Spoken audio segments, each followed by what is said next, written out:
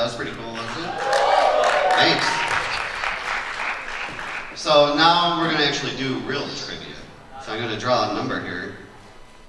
And this will be for a Richard Band, a friend of mine. He scores a lot of music. He's a really awesome dude. And he donated this uh, CD of uh, a lot of his like work. So we're gonna give away an autographed CD of Richard Band.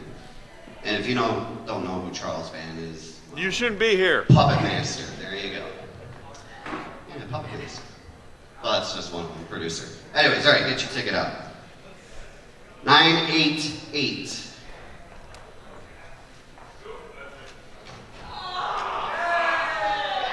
But you got to answer a question now. Come on down. Where are you? All right.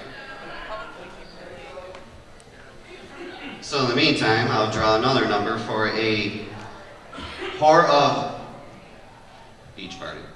It's an original comic from the 60s. And that number is 960. 960. Yes, you do. Oh, I think, well, then you could give your ticket to somebody else.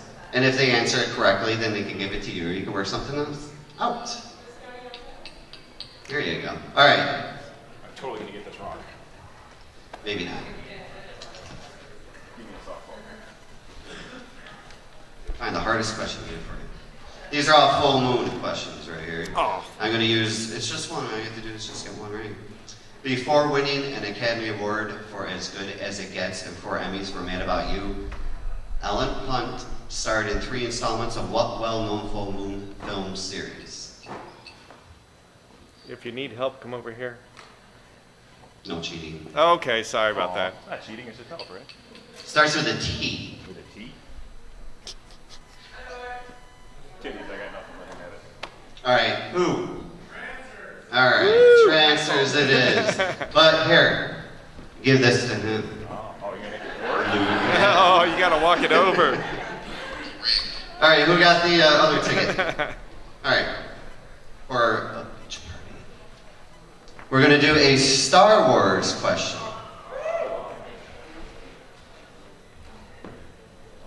All right.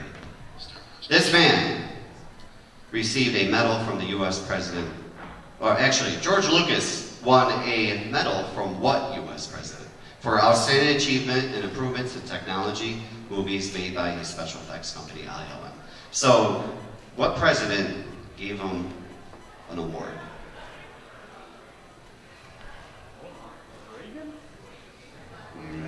No. No.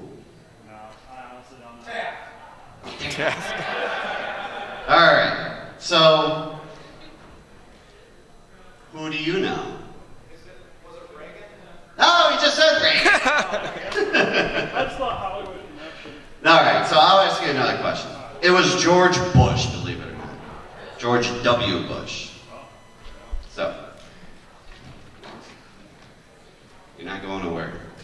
In a scene cut from the cantina sequence, Han Solo has a woman in the booth with him. With him. So it was a scene cut in the casino. You know when he's like talking to Greedo. Well, he has a woman in the booth. What was her name? Greedo.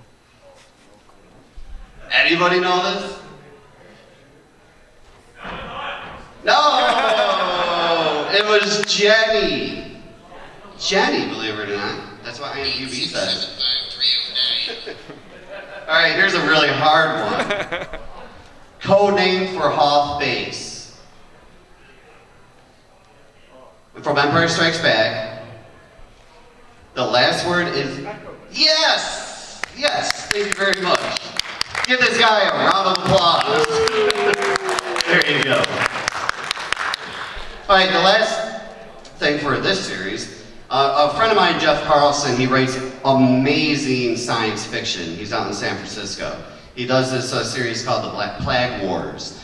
But this is his new book, and he signed it, and it says right here, A Tale of Darkness, Ice, and Fire. Enjoy, Jeff Carlson.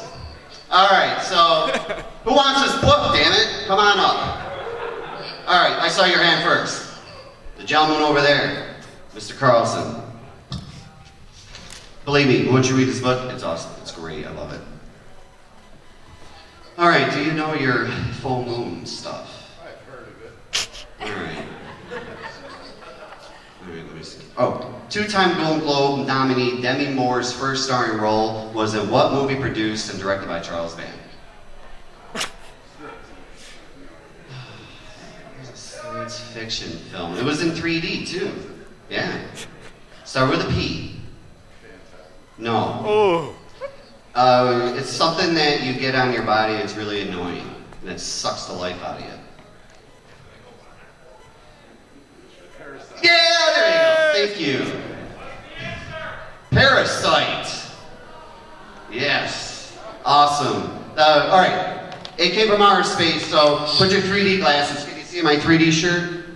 Oh yeah. There. See my 3D shirt? It's the Gorilla Biscuits, one of my favorite bands. yes. Yeah. Right. I'm right. So if it's all screwed up on the screen, then you have your uh, 3D glasses, just switch them around. So, all right. But first, May the Fourth be with you. It's Star Wars Day, everybody. Woo! It's Comic Book Day. Woo! That's why we have comic books. And we're gonna do a really awesome Star Wars thing on film for you. It's about seven minutes of Star Wars amazingness. All right, so John, you ready up there? Yes. All right, I'm gonna kill the lights. Once the lights are killed, you know what you gotta do. But then right after the Star Wars thing, gotta take a little break because I gotta reset something. All right. Mr. It's not a break. It's like it's gonna be dark in here, so be very careful and don't go anywhere. It's only take one minute. You have to turn the cans off. How do I turn the cans off? yes, gotcha.